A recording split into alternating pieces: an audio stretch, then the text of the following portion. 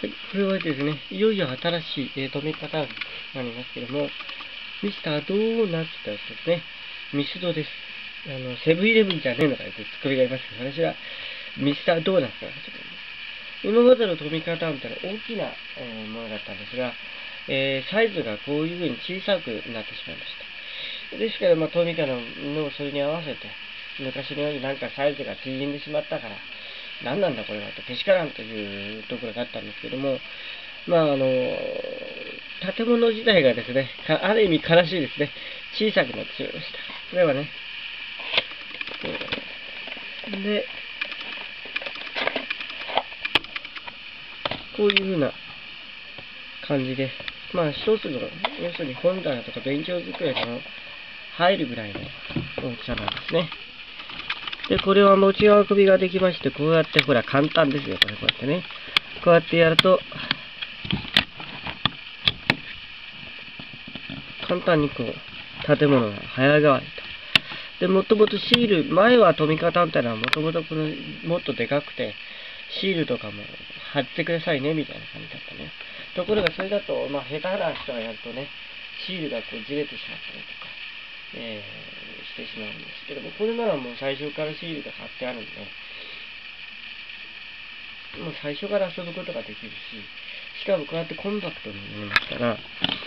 うやって折りたたんで、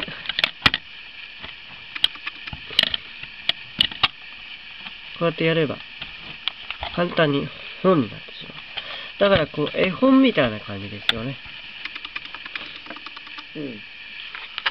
ちょっと前で言うなら絵本みたいな感じで、まあそういったところがこう、評価されているのかなというところですね。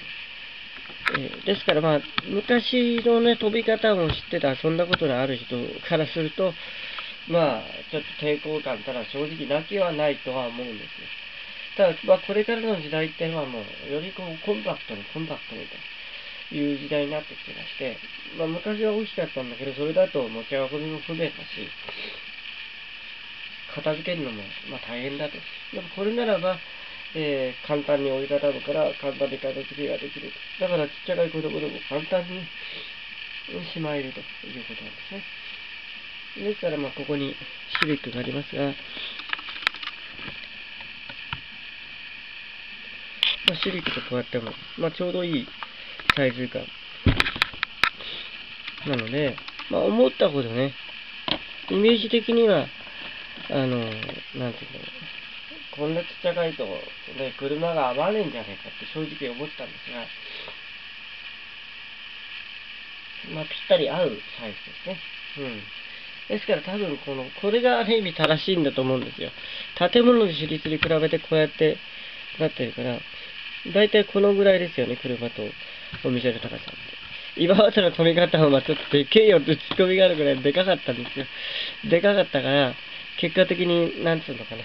ちょっと違和感があったんですね。うん。でもこれならば、まあある意味違和感がなくて、えーちっちゃかくて、持ち運びが、持ち運びができて、まあ非常に便利かなと。いったところかなというところなんですが、ね。どうでしょうかね、この読み方は。なかなか、良いもんだな、というふうに思いますね。まあ確かに昔の従来の考え方からいくと、サイズがあまりにも激変的に小さいから、なんか飛び方はお金でか、トミー、トミーや会社はお金で苦労して、ね、貧しくなってしまったんじゃないかって思ったんですが、逆に貧しくなったんじゃなくて、逆に豊かになったんですね。だからこれは実際こういったものを手に入れないとわからないです。うん。確かに昔のがちょっとでかすぎたんですよ。うん。で、これでコンパクトに畳めて本、絵本をしら閉じるみたいな感じなんで、まあこれなら気軽に持ってって遊ぶということもできるし、まあそういう点では非常に重宝していていいなと思います。ただちょっと値段的にこれは1000円ぐらいでバスんなんですが、あのセブンイレブンとかって大体、大体店で1600円ぐらいするんですよ。だからちょっと高いかなっていう感じですね。このぐらい小さくてコンパクトなんだけど、あと値段がちょっとコンパクトにならないとね、あの、1500円はちょっと高いんじゃないかと思うんで、大体据え置きで1000円、1000円、1000円ぐらいかな。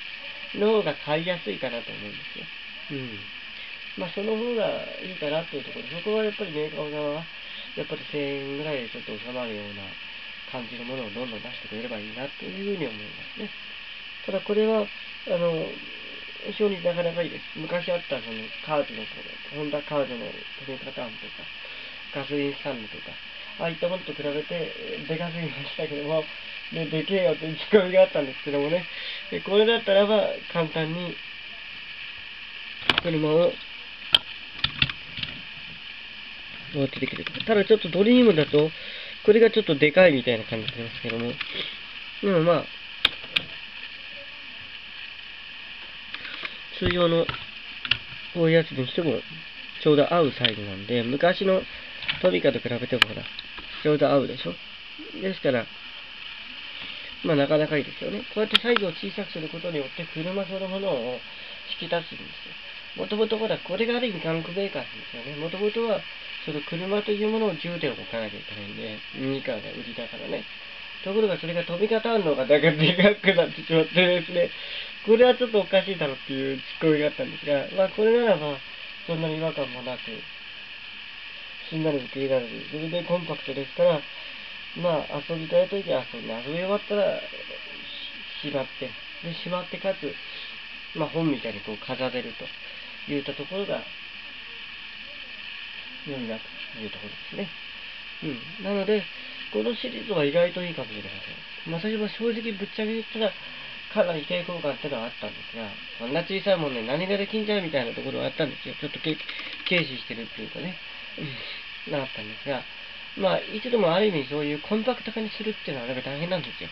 コンパクト化にすると昔今まで持ってた人からすると、なんだこんなちっちゃけの、こんなちっちゃけの何ができんじゃいみたいな、そんな風になってしまうんですね。例えば軽自動車と普通車だったらば、あの、バブルの頃とか、あの、平成初期あたりぐらいの時に軽自動車っていい車たくさん出してたんですけど、例えばカプチーノとかビートとかね。でも、そうすると、いくらいい車出しても、その当時の時代から言ったら、普通車を買うのがまあ当たり前みたいな時代になってて、もう軽自動車はある意味、この、セカンドカーですみたいな時代になってたわけですよ。今はもう軽自動車っていうのは、あの、セカンドカーとしてだけじゃなくて、もう、ね、僕一般に一家自体の車というふうに認められたけども、その部分の時代のものって、まあ、軽自動車ってのは64馬力しかないから、どう、どう、規制があったよね。ですから100、120馬力とか150馬力のコンパクトカーに行っても勝てないというようなところがあったんで、こんなちっちゃい車に乗ったって大したことねえだろ、みたいな軽視されてしまうんですね。ところが時代というものが後々こう経過してくるとですね、その当時の時代の車っていうのは、じゃあ軽自動車にしてはこれ速いんじゃないかとか、あの、軽自動車にしては内装が豪華だったなとか、でそういったところですごくこう驚かされるんですね。だからそういう点では、あの、鈴木っていうメーカーはね、市場にあの社長すごい、ね、あの会長すごいケチケチケチケチしますけども、でもあの、なんていうのかな、その、ある意味ケチケチしたからこそ、その、軽自動車にすごいお金をかけられて、いいものがね、作れたなっていうところなんですよ。だから、ある意味、いつの時代でもそうなんです。やっぱりちっちゃいものっていうのは、コンパクト化になったら、それは、今まで大きなものがずっとバーンとあると、やっぱり、どうしても、こんな小さいものはどうせ何でもかんでもダメなんやろ、みたいな。勝手にこう、決めつけみたいなのが来ちゃうわけですね。先に。でも、そこである意味、その、じゃあお試しに、買ってみたらいかがですかって、そこを試しに買って、ポンと置くことによって、その違った視点が見えてくるんですよ。だからこれはある意味こういった飛び方をならば昔の飛び方もいいけども、こういうちっちゃい飛び方っていうのを買わないとダメでしょうね。だからこういう基準だったおかげである意味昔の飛び方っていうのはもう価値としてはあまりなくなってしまいましたね。うん。だからある意味転売屋は邪魔という話ですよ。5、6千円もだ、すごい高値で1倍も近く出して売ってたのが、今の飛び方ってこんなちっちゃくなって、それがまあ、街の大きさの標準的なサイズになったわけですよ。ただそれを考えるとですね、まあ今までの飛び方なんてあれでかすぎたんじゃないかって。確かに私も子供のところに、時に昔の80年代の飛び方っていうのを持ってて、遊んだ記憶もありますけど、なんかでかすぎんなという、すごいありますね。例えばビザーラにしても、セブンイレブンにしても、こんなにコンビニってでかかったっけな、みたいなね。うん。もうちょっとなんか車のサイズになんかちょっと違和感があるんだけど、みたいな。うん。車のサイズ、建物のサイズ考えたら。でもこれは意外と良い感じですよね。すんなり収まるので、なかなかいいなと思いました。どうもありがとうございました。